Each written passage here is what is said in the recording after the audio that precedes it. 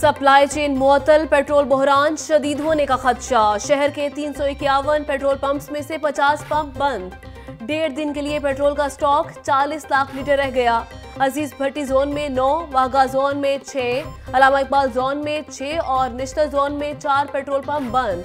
खुले petrol pump मालिकान मनमानी करने लगे। शहर में पेट्रोल एक सौ रुपए लीटर फरोख्त होने लगा।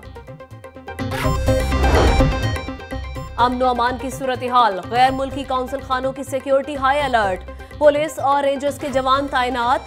लाहौर में रिहायश पजीर गैर मुल्कियों को अपनी नकलो हरकत महदूद करने के अहकाम जारी। वज्रा भी अपनी नकलो हमल महदूद कर दे, महकमा दाखिला।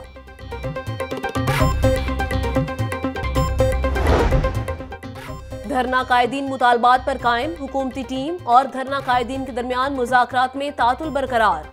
फरीकैन में रात को होने वाले मुजाकरात के बाद सिलसिला दोबारा शुरू न हो सका। हुकूमती टीम की तरफ़ से जुमे के बाद धरना कायदीन से रबते का इम्कान।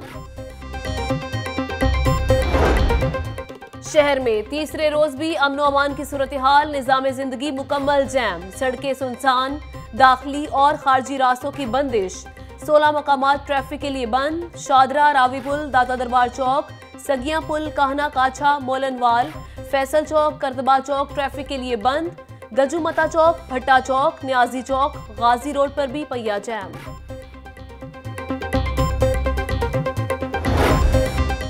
दो रोज बाद पाँच पॉइंट्स ट्रैफ़िक के लिए खुल गए। पुराना रावी पुल, जल्लो मोड़, ग्रीन टाउन, मिराज चौक, मुगलपुरा बंद रोड ट्रैफ़िक के लिए बहाल।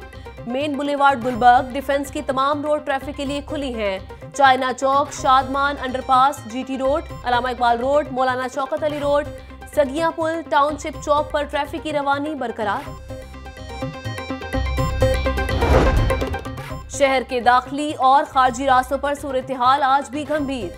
मोटरवे ठोकर न्याज बेग और बाबू सामू इंटरचेंज से बंद। गाड़ियों की लंबी कतारें। एलटीसी और स्पीडो बस आज भी न चली। पब्लिक ट्रांसपोर्ट ना होने के बायस शहरियों को शदीद मुश्किल दिफातर में हाजिरी कम। मरीजों को अस्पताल जाने में मुश्किल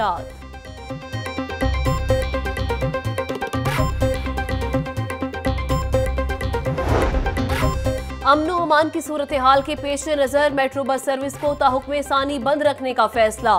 तीन रोज में चार लाख पैंसठ हज़ार मुसाफिर सफ़र न कर सके। किराए की मद में मेट्रो बस को तीन रोज में तिरानवे लाख रुपए खसारे का सामना।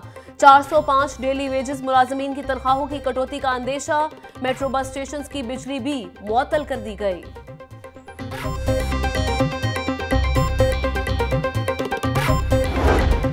ट्रेन का शेड्यूल शदीद मुतासर। तमाम ट्रेनें कई कई घंटे ताखिर का शिकार।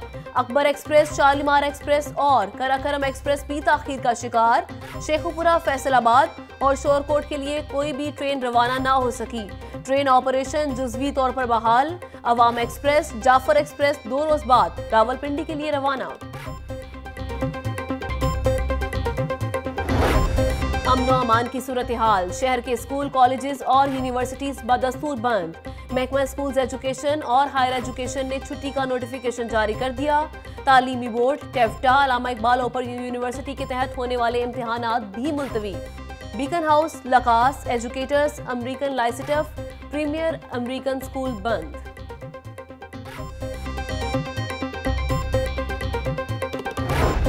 शहर की तमाम छोटी और बड़ी मार्केट्स और बाज़ार बंद।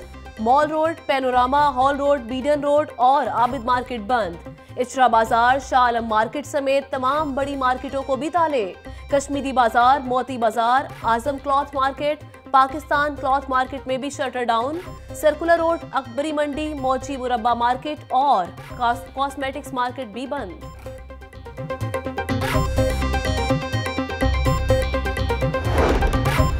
रास्तों की रुकावटें, दिफाते जाने वालों की राह में भी हायल। नादरा पासपोर्ट ऑफ़िस में हाजिरी कम, शनाख्ती कार्ड पासपोर्ट के हसूल के लिए आने वाले सालीन की तादाद भी कम।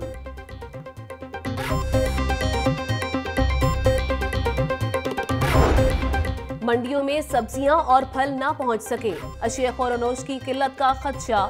सब्ज़ियाँ, गोश्त और दीगर अशिया महँगी होने लगी। सिंहपुरा सब्ज़ी मंडी में सब्ज़ी की कीमतें 20 फ़ीसद बढ़ गईं। ब्रॉयलर भी मजीद छह रुपए फ़ी किलो महँगा, कीमत दो सौ छब्बीस रुपए किलो तक जा पहुँची। मोबाइल दूसरे रोज भी खामोश। शहर में मोबाइल फ़ोन सर्विस मगरिब तक मुअत्तल रहेगी। राबतों का फुकदान, शहरियों को शदीद मुश्किल का सामना।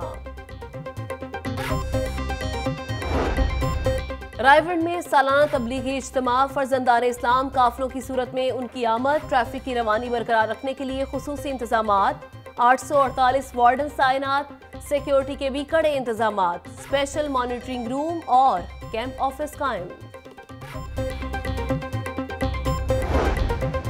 हाईकोर्ट का पंजाब के छत्तीस अजला में ट्रैफ़िक कवानीन पर सख्ती से अमल दरामद करने का हुक्म।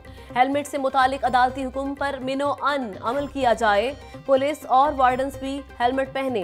अदालत सत्तर फ़ीसद सर पर चोट लगने के हादसा कम हो चुके हैं। अदालत के रिमार्क्स।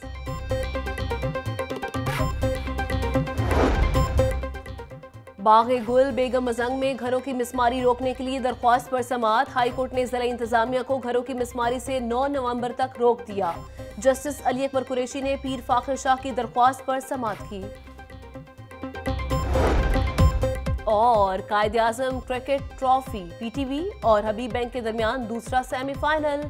हबीब बैंक की पीटीवी के खिलाफ बैटिंग जारी। उमर गुल, उमर अकमल, इमामुल हक हबीब बैंक की टीम में शामिल।